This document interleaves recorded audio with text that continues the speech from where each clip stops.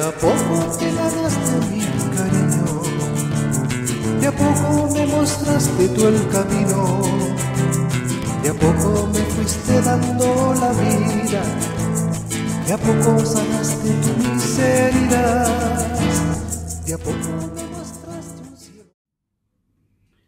Falta poquito, ay, falta poquito para que lleguemos a fin de mes. Yo, obediente, ustedes me han dicho cuando falten tres, cuatro días por ahí se los recuerde para hacer ese examen de conciencia del mes. ¿Cómo estuvo este mes? ¿Cómo estuvo mi camino? ¿Cuántas veces me caí? ¿Cuántas veces le prometí esto al Señor y mm, se me olvidaba inmediatamente? Y no es para que seamos masoquistas y que hoy qué terrible y nos bajoneamos y que hoy no sirvo para nada, no puedo cambiar. No, es para ayudarnos a reconocer que podemos salir adelante, que nos podemos caer y que tenemos que confiar más en el Señor. Nada más que eso. Señor, y el Señor se cayó tres veces en el Calvario para demostrarte que hay que levantarse, que no importa lo cansado la última vez, pobrecito, yo creo que eh, ay, el amor que te tiene, que me tiene, lo levantó para seguir adelante.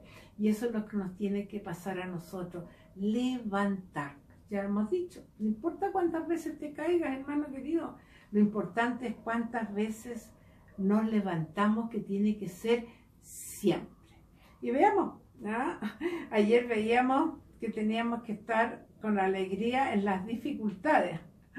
Entonces veamos hoy día en Santiago, que yo le he dicho que Santiago tenemos que afirmarnos para escucharlo.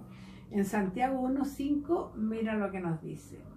Si a alguno de ustedes le falta sabiduría, pídasela a Dios y Dios que da a todos generosamente y sin echarlo en cara, se le concederá. Pero que la pida con fe, sin dudar, pues el que duda se parece a una ola del mar agitada por el viento y zarandeada con la fuerza. Palabra de Dios. Aquí, de nuevo luz, de nuevo guía. Si nos falta sabiduría, pidámosle, Señor, saca mi sabiduría del mundo, sácame todo y lléname de tu sabiduría. Tenemos que decirle todos los días cuando vamos a hacer algo, Señor, saca todo lo que yo leo, todo lo que he aprendido, poneme tu sabiduría. ¿Ya? Y Él dice que nos dará generosamente y sin echarle en cara se lo concederá. Tú y yo cuando hagamos algo, ligerito, yo te lo di, yo te dije, y, ¿te, ¿te acuerdas cuando yo te di ese favor? Nada, el calladito nos entrega su sabiduría pero que la pida con fe. Volvemos a la fe, si la fe es fundamental. Que la pida con fe sin dudar. El famoso San Pedro, como dice nuestro querido amigo Marcelo Desi, el famoso San Pedro echa abajo todo. ¿Por qué? Señor, yo confío en ti, te entrego a mi familia, pero tiene... Sí, puede pasar, pero entonces, si yo le pido sabiduría al Señor, su sabiduría, no la del mundo, se lo pido con fe y sin dudar que Él me la va a dar. Pero no, ¿cómo me la va a dar a mí? ¿Quién soy yo? No. Lógicamente que si tú ya le estás diciendo que no. Así que digámosle al Señor hoy día, que nos dé esa sabiduría que necesitamos para nuestro examen de conciencia y con su sabiduría pueda salir adelante. Así que digámosle, Señor, dame tu sabiduría para poder enfrentar este mundo sin paz, tanto odio. Tu sabiduría que es paz y amor.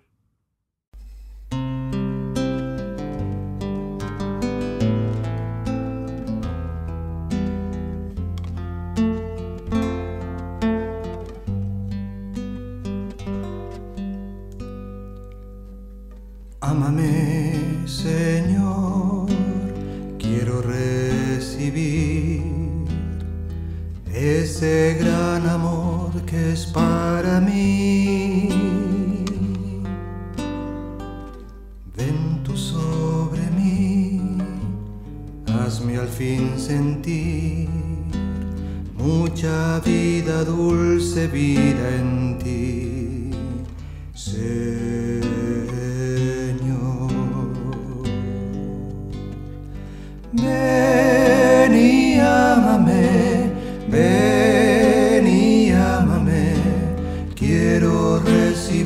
Todo tu amor. Ven y ámame, ven y ámame, te abro al fin las puertas de mi corazón.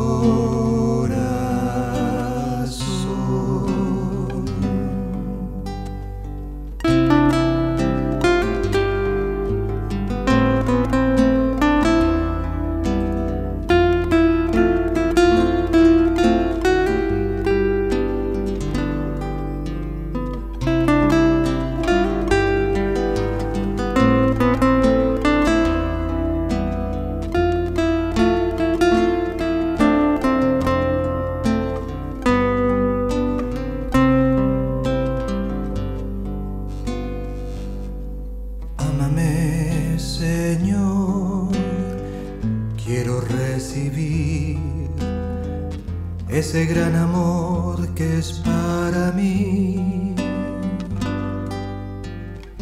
Ven tú sobre mí, hazme al fin sentir mucha vida, dulce vida en ti, Señor.